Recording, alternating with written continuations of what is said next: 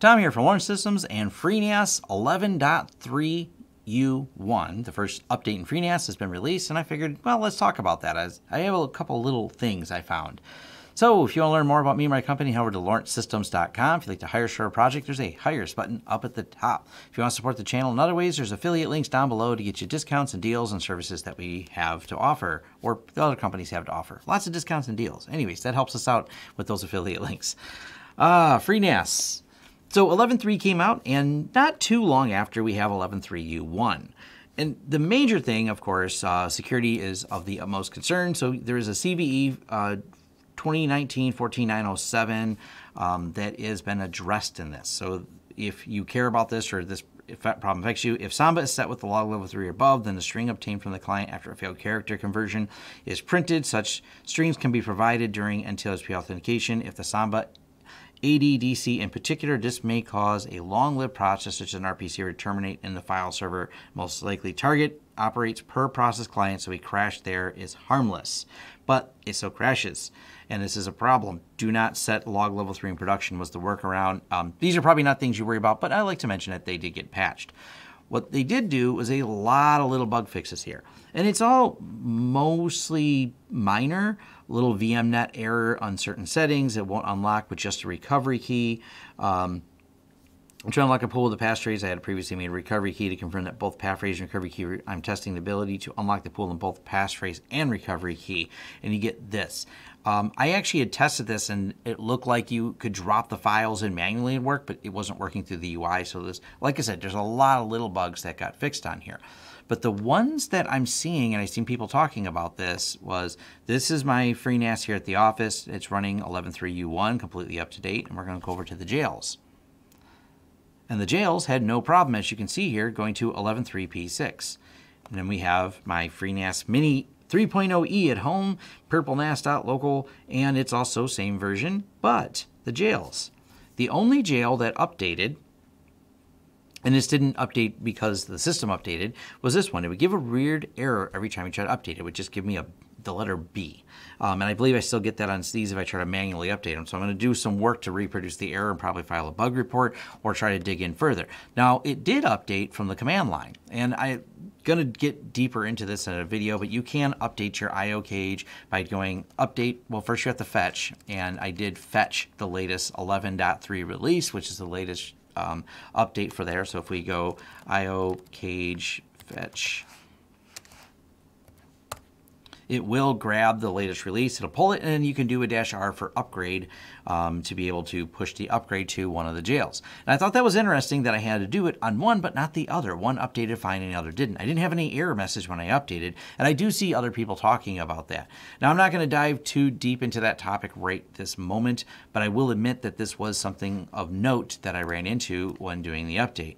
Um, other than that, everything else with the system seems to be perfectly fine. And all the other, when you dig through some of the uh, errata changes and improvements, it's all really mostly all minor stuff on here create local users on TrueNAS Alpha 2, fixed little typos and dialogues that kept opening and things like that. And there was an error apparently in the way it was creating the iSCSI, so that was also part of the problem. And the ability to get statuses of the drives if they were resilvering. I never have any drives go bad from when I loaded 11.3, even the beta, all the way till now. I still, all my drives are perfectly fine, so I haven't done any of the drive replacement, but they have fixed a bug that was causing that. So my overall, I'd still say to load it, uh, but if you are running running into that issue, do look up how to manually update jails. Currently, I do not have a video on how to do that yet. I'm working on, um, I want to do an entire series on iocage and kind of getting into the nitty gritty of it. I did one on VLANs, and apparently they did fix uh, a bug, which I didn't see when I was doing my VLAN video, but I guess there are certain circumstances, and I think someone had commented on that particular YouTube video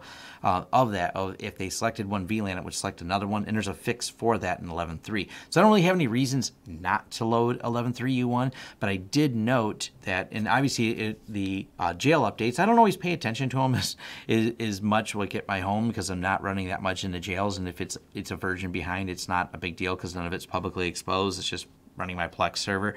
Um, but apparently there are some people having some update issues with it.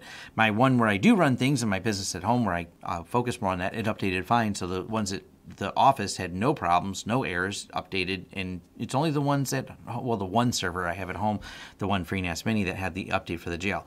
Other than that, everything else seems to be working fine. I loaded it um, several days ago when it came out. I got right on and updated it and wanted to let it run for a while, and I haven't found any ill effects from it, which I think is what a lot of people ask. Is, is there any problems you experience? No. The services I use, uh, we still watch stuff on Plex. The transmission still works. My uh, one uh, plug-in that is the jail I have. I never go back over to jails real quick my Alcatraz jail, which is my one little home server. Uh, that works perfectly fine. I use that sometimes when I need a different perspective to SSH into something at home, uh, just for random personal projects. But all these things, Syncthing included, all work fine. Now, granted, they're still running the old release, but they didn't break. I also uh, have the Syncthing jail set up manually, so I'm running it uh, not as a plugin, but as a matter of fact, when you run these, if you build them manually, and this is what I'm going to be working on a video on, um, I don't rely on the updates from iXsystems, I can actually update Syncthing manually by creating a manual jail to run it in. So that's why it's a little bit less concerning because the Syncthing is something I care about a lot.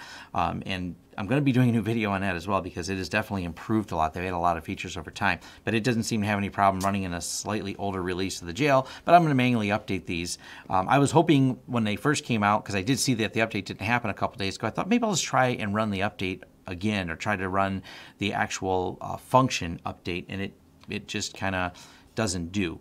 So if we go over here, and we'll try it right now to show you uh, the error message I get. So if we go over here to update, it does say updating jail, but it doesn't necessarily update it. It matter of fact, it keeps pulling the same older release instead of the new release.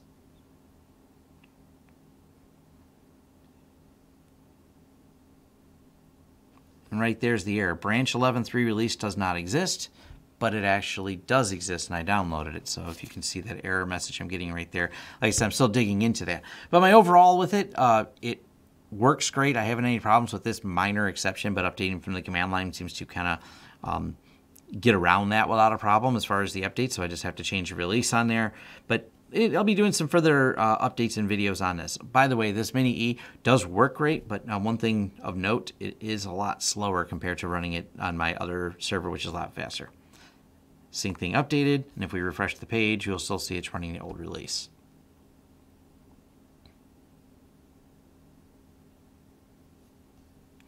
So there we have it. Still running the old release.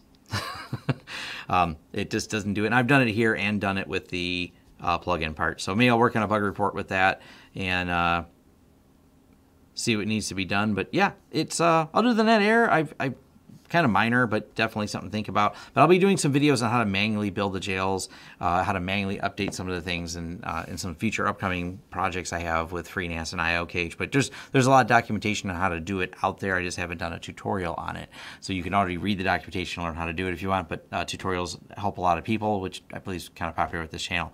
All right, and thanks. And thank you for making it to the end of the video.